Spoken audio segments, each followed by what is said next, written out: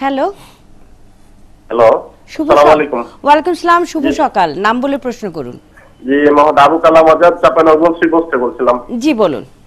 আমি Honda accident করছিলাম প্রায় গত ষোলো সালের জানুয়ারিতে। আমি এমআরআই করছিলাম তো বলছো হাঁটুর সামনে দিকের একটা নাচ ছিঁড়ে গেছে। তো আমি কিছুদিন থেকে অপারেশনের কথা বলছিল তো অনেক টাকার ব্যাপার আমি করতে পারি নাই। তো এখন আর ব্যথা হলাম করি নাই এটা কি কোনো সমস্যা হবে? এখন কি সমস্যা হচ্ছে? মানে আপনার শারীরিক বা চলাফেরা কি আমি কোনো শারীরিক সিঁড়ি যদি উঠি তাহলে ব্যথা হালকা অনুভব হয়। তাছাড়া আমি স্বাভাবিক চলাফেরা করতে পারি কোনো সমস্যা নেই। আপনার বয়স কত এখন? পঁয়ত্রিশ। আচ্ছা ধন্যবাদ। ওনার যে সমস্যাটা এটা হচ্ছে এটাও এক প্রকারের আপনার শারীরিক ব্যথা বা শারীরিক সমস্যা ডিউ টু আপনার ইনজুরি ট্রমাটিক আচ্ছা, আচ্ছা। মানে এই যে বাত ব্যথা রোগগুলা কিন্তু এক এক কারণ অনেকগুলা কারণ বাট উপসর্গ আপনি কিন্তু শুরুতেই বলছিলেন এটা কোনো রোগ নয় বিভিন্ন উপসর্গ। উনারও উপসর্গ। ওনারও তাই উনি আঘাত পেয়েছিল মোটরসাইকেল অ্যাক্সিডেন্ট এখন হাঁটু ব্যথা মাঝে মাঝে সিঁড়ি বাইতে কষ্ট হয় ওনার ক্ষেত্রে যেটা হচ্ছে এমআরআইতে যদিও সমস্যা পাওয়া গিয়েছে যেহেতু উনি শারীরিকভাবে বড় আকারে কোনো প্রবলেম হচ্ছে না শুধু স্টেয়ার ক্লাইম্বিং বা উপরে উঠতা সিঁড়ি বাওয়া বা নামার ক্ষেত্রে হাঁটু ব্যথা হয়ে থাকে এই ক্ষেত্রে ওনাকে কিছু রিহ্যাবিলিটেশন ট্রিটমেন্ট করতে হবে। রিহ্যাবিলিটেশনটা কি? এক্ষেত্রে আমরা বিভিন্ন যেমন হাই ফ্রিকোয়েন্সি সাউন্ড দিতে পারি ইলেকট্রোম্যাগনেটিক রেডিয়েশন যেগুলো থেরাপির অংশ বিশেষ এবং ডিফারেন্ট এক্সারসাইজ ব্যায়াম এবং বৈজ্ঞানিক এক্সারসাইজ আপনি যেটা একটু বললেন যে হাই ফ্রিকোয়েন্সি সাউন্ড দিতে পারেন। সাউন্ড ব্যথার সাথে কীভাবে রিলেট করবে? অবশ্যই এটা এক প্রকারের থেরাপি যেমন আমরা সাউন্ডের অনেক ব্যবহার আছে। আপনার সমুদ্রের গভীরতা মাপাতে সাউন্ড ব্যবহার হয়। তদ্রুপ আমরা চিকিৎসা বিজ্ঞানে ইঞ্জুরিগুলা সারানোর জন্য আমরা সাউন্ড ব্যবহার করে আচ্ছা। থাকি।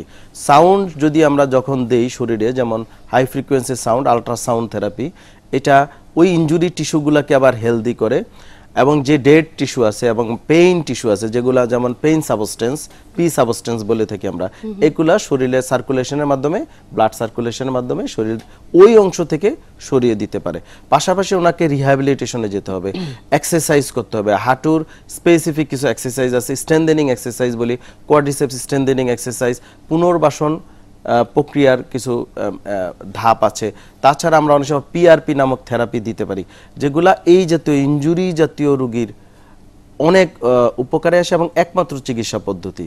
ব্যথার ওষুধ কিন্তু এই রুগীদের তেমন কোনো উপকারে আসবে না এবং ক্ষতি হতে পারে। কারণ ব্যথার ওষুধ শুধুমাত্র একিউট ইনজুরি একিউট বলতে হচ্ছে মাত্র আঘাত পেয়েছে। কয়েক ঘণ্টা হয়েছে বা কয়েক দিন হয়তো দুই তিন দিন এই সময় আমরা পেইন কিলার দিতে পারি সেটা কয়েক দিন বা কয়েক সপ্তাহের জন্য। কিন্তু অতীতের বা অনেক পুরাতন কেস ক্রনিক কেস তখন কিন্তু তাকে থেরাপি চিকিৎসায় যেতে আচ্ছা কিন্তু এই যে আর্থ্রাইটিসের যে প্রবলেমগুলো আপনি বলছিলেন যে অনেক ধরনের আর্থ্রাইটিস আছে আর্থ্রাইটিসের প্রবলেমে যারাই ভোগেন ব্যথাটা হলেই তারা সহ্য করতে না পেরে মুড়মুড় করে নিজেরাই ব্যথার ওষুধ খেয়ে ফেলছেন। এখন সব ধরনের আর্থ্রাইটিসের ব্যথাতে ব্যথার ওষুধ খাওয়াটা কতটুকু মানে ঠিক হচ্ছে সেটা একটু বলবেন। আর আমি যেটা জানতে চেয়েছিলাম যে যে হাঁটুতে জুস শেষ হয়ে গেলে যে আর্থ্রাইটিসের প্রবলেমটা হয়েছে সেটা কোন আর্থ্রাইটিস আমরা জানি আপনার প্রিয়জন আপনার জন্য কতটা গুরুত্ব বহন করে। প্রপার ডায়াগনোসিস কনসালটেশন পেইন ও প্যারালাইসিস চিকিৎসা পুনর্বাসন আমাদের সব আয়োজনে সব সময় আপনাদের জন্য চব্বিশ ঘণ্টা খোলা। আমরা চাই না আপনারা বারবার আমাদের কাছে ফিরে আসুন তবুও আমরা আছি সব সময় সর্বদা আপনাদের পাশেই। DPRC hospital limited.